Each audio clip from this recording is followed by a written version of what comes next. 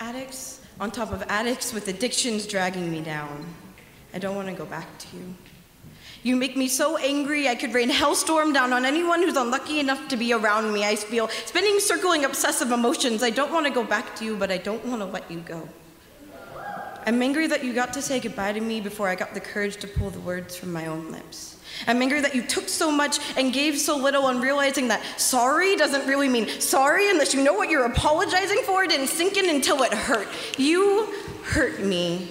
You, sick child, pulled the wings off a butterfly and called it beautiful. You, sick child, took the breath from a poet and called it art, called it normal, called it love. You, sick child, took the word me and replaced it with the letter U. Not even Y O U, just you, because you, sick child, you, grammar Nazi, didn't think I was worth the effort to even spell it right.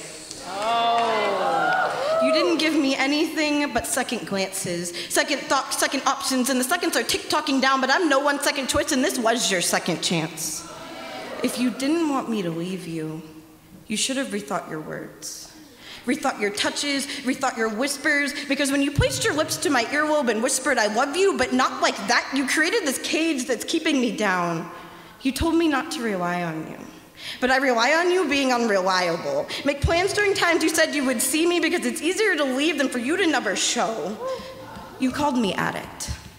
I am no addict unless you count being drawn to your presence, to your addictions. You're addicting and you've got me hooked. You called me supplier. I supplied you nothing but all of myself. You supplied me the means to destroy everything that was me. Replaced it with you. Not even Y-O-U, just you. Because you, grammar Nazi, deemed me unworthy of even the simplest of satisfactions. Of anything but your control. Contrived ways to continue to trick me till I was nothing and then walked away.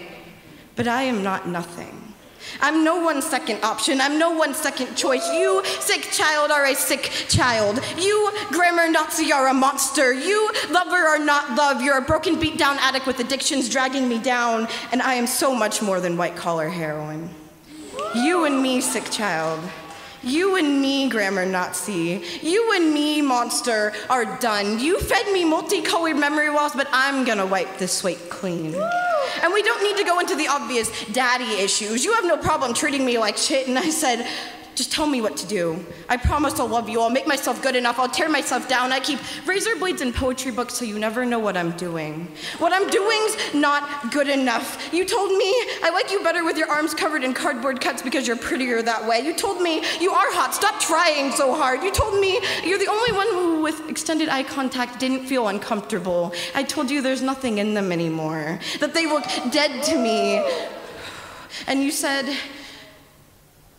wait. And I said, You emotionally fucked me up so bad, I'm not even a person anymore. And then you left me alone, and I blame you just as much as you blame me. And you said, Oh my God, I know, I know, I know, I'm so sorry. But sorry doesn't really mean sorry if you don't know what you're apologizing for. And if you were sorry, you wouldn't have done it to begin with. And I'm no one's second choice. You were never my second option. First, to the point of obsession, even myself became second, second nature and multicolored memory loss. I'm so much more than multicolored clouds seeping from leaking lungs, so much more than white collar heroin, and I'm no one's second choice. No.